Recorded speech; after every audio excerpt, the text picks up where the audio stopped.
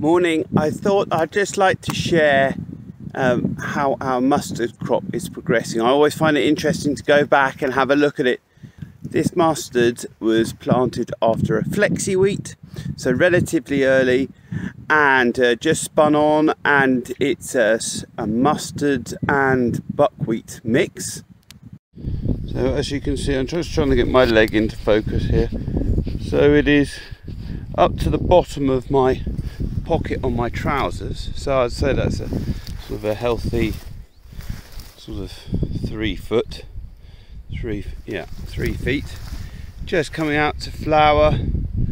Um, it's a fairly big crop. I think it went on at about seven kilos a hectare. Um, I'm just trying to see if I can see any buckwheat in it. Yeah, out here on the margin where it's a little bit thinner, you can still see the, the white flowering buckwheat amongst the mustard. Mostly, if you look at the bottom, it is mostly just mustard really. Um, but what is a bit of rape? But what's interesting is the volunteers and the suppression of volunteers. Very pleased with that. And this block is programmed for second flexi wheat. There's a dog going through it for perspective um, in a tram line, so it's way above her.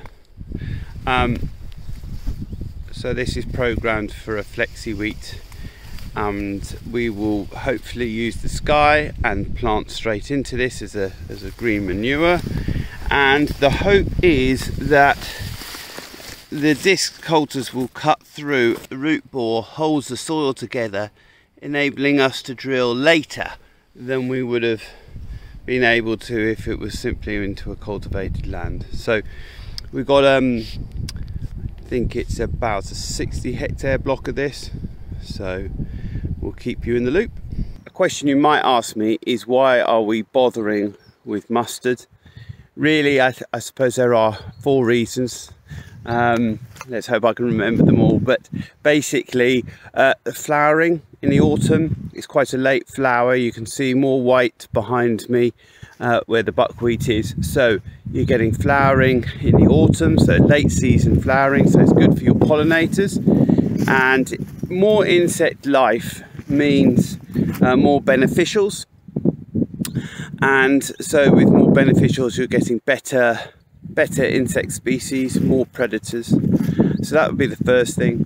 Secondly, certainly there is a degree of weed suppression. These plants are of course um, haven't been given any fertilizer, so they're uh, pumping exudates into the soil, feeding bacteria, fungi, uh, trying to keep the system alive whilst we wait for the cash crop to be planted.